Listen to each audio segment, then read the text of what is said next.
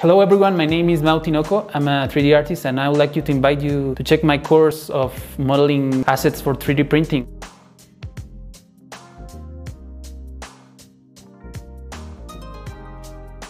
We're gonna be developing 3D traps for a dungeon.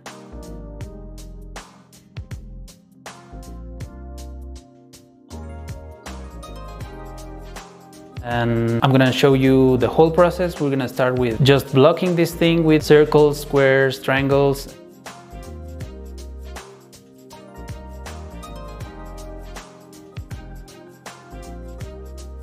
And then blocking even further, then sculpting in ZBrush.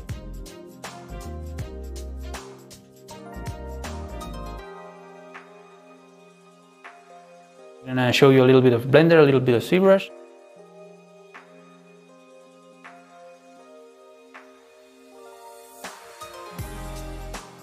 And we're gonna show you how to get ready, how to ready this file for printing.